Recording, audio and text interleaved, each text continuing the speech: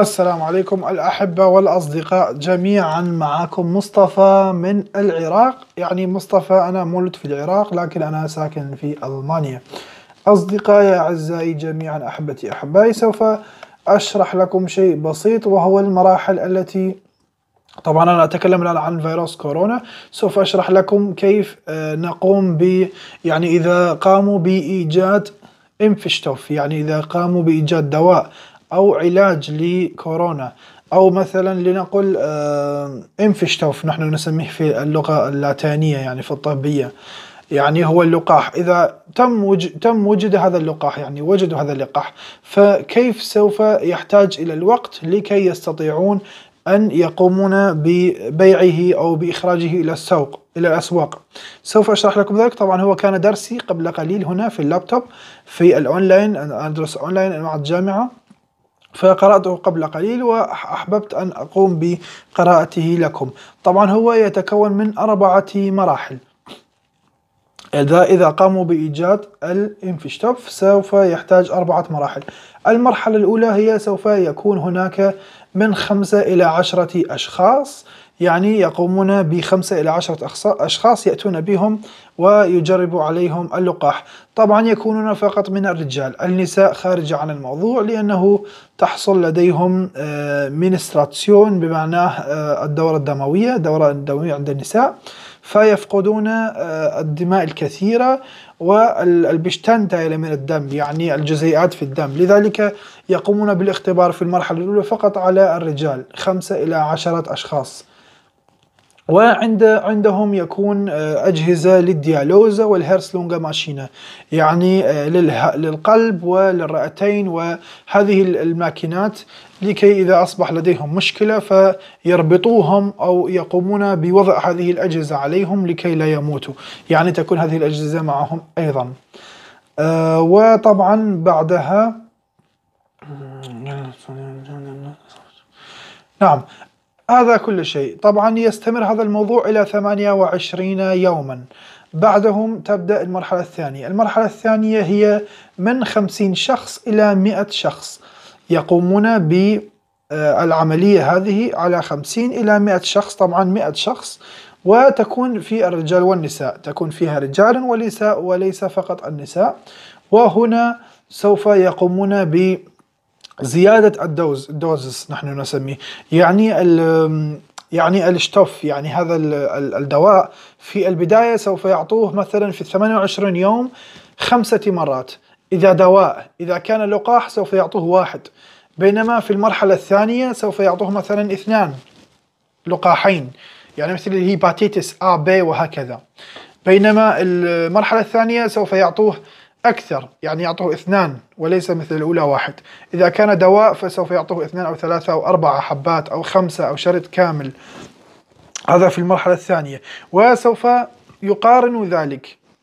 سوف يضعون مقارنة هل هل حصل هناك مقارنة؟ يعني هل حصل هناك تحسن بين المرحلة الأولى والثانية؟ هذا في المرحلة الثانية. المرحلة الثالثة سوف يكون فيها هناك من مئة شخص إلى عشرون ألف شخص. من مئة إلى عشرون ألف شاهدوا العدد.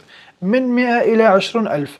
طبعا سوف يكون هناك منلش وفايبلش يعني رجال ونساء وسوف يقومون بفحصهم.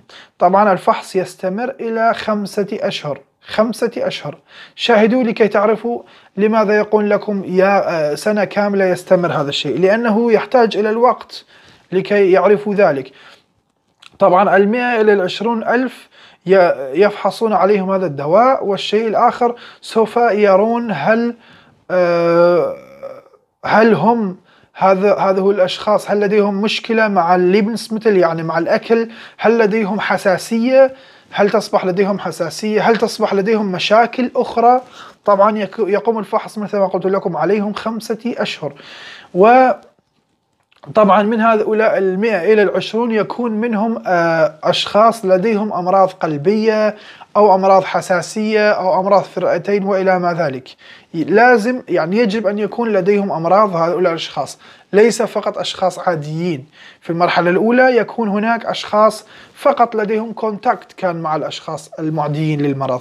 المرحلة الثانية يكون هناك أشخاص لديهم contact وهم نفسهم في المرحلة الأولى لكن يأتون بأشخاص آخرين لديهم ال contact ولديهم المرض لكن بنسبة قليلة.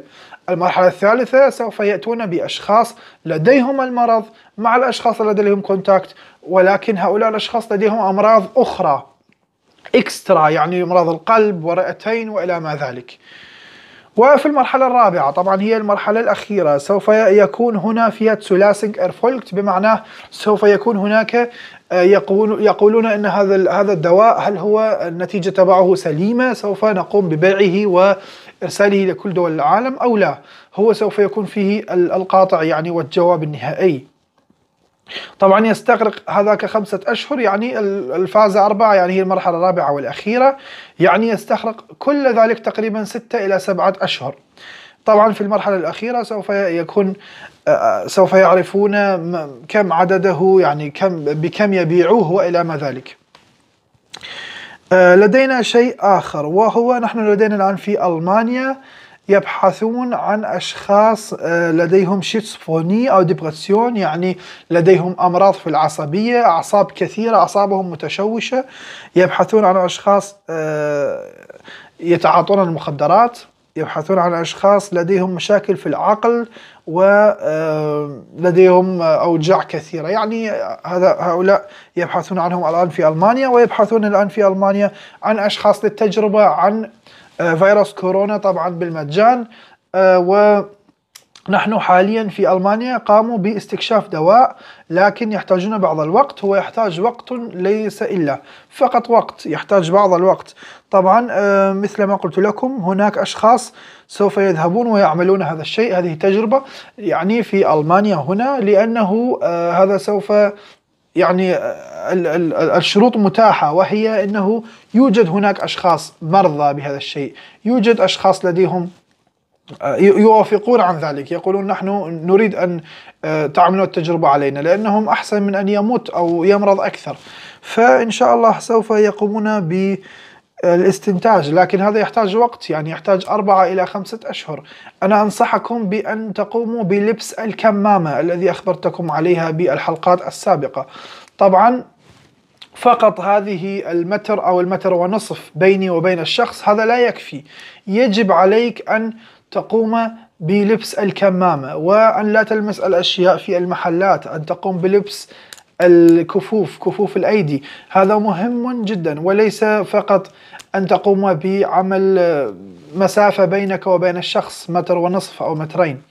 فأنا الآن في هذه الحلقة أردت أن أشرح لكم أن هذا يستغرق الوقت يعني يستغرق خمس إلى ستة أشهر. أتمنى أنه في الدولة التي, التي أنتم تسكنون فيها قد أصبح هناك آه، بعض الترفيه. يعني ليس مثلنا نحن في ألمانيا كان هناك حظر لكن الآن لا يوجد حظر كثير وإنما يعني الكمامة أصبحت لدينا Pflicht يجب على كل شخص أن يلبس الكمامة يجب عليه وإلا سوف يحاسبه البوليس الشرطة. يجب أن يلبسها في الشوارع في القطارات في الترام في أي مكان في المحلات بال بالأخص في المحل. يعني عندما تذهب إلى المحل السوبر ماركت وتشاهد هناك الأشخاص يدخلون كثيرون في المحل فأنت يجب أن تلبس هذا لأنه سوف يصبح يعني لا أعرف ماذا كيف أشرح لكم ذلك؟ لكن يجب عليكم أن تشرحوه في أن تلبسوه عفوا في السوبر ماركت الكمامة. والكفوف مهمة جدا. وطبعا عندما ترجع إلى البيت تقوم بغسلها للكمامة. إذا كانت لديك الكمامة الاعتيادية تقوم بغسلها. إن لم تكن لديك الاعتيادية فتقوم بعمل واحدة مثل ما أنا نشرت لكم أيضا في الفيديوهات السابقة وتقوم بغسلها وبعد ذلك على الشمس تقوم بعرضها لكي تجف وبعد ذلك تلبسها إن شاء الله. والكفوف أيضا مرة واحدة للاستعمال أو مرتان في أكثر حالة يعني هي مرتان لا يجوز أكثر. وبعد ذلك تقوم بتعقيم يديك وتعقيم المواد الذي تأتي للبيت يعني أي كارتون أي بريد أي شيء يأتيك إلى البيت تقوم بتعقيمه. هذا شيء مهم جدا. إذا أتمنى أنه آه، أعجبتكم هذه الحلقة؟ طبعا هي حلقة سريعة وبسيطة لأنه هذا كان درسي لليوم فأحببت أن أشارككم فيه وهو المراحل التي إذا استنتجوا هناك دواء أو شيء كم يستغرق من الوقت؟ يعني يستغرق تقريبا ستة إلى سبعة شهور. تحياتي لكم كان معكم مصطفى العراقي من ألمانيا برلين. مع السلامة.